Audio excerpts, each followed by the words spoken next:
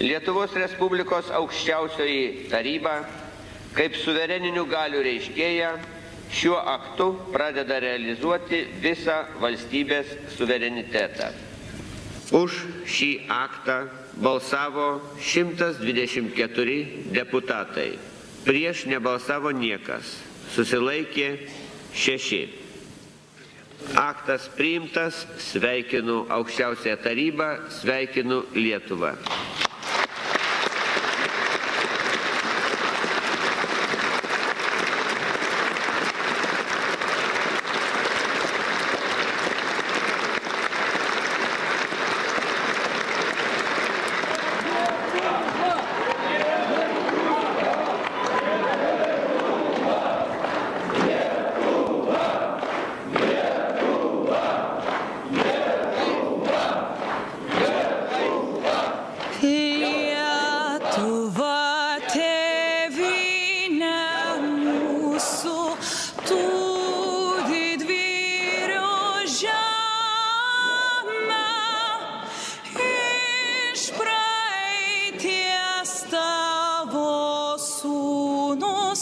Dusty pretty.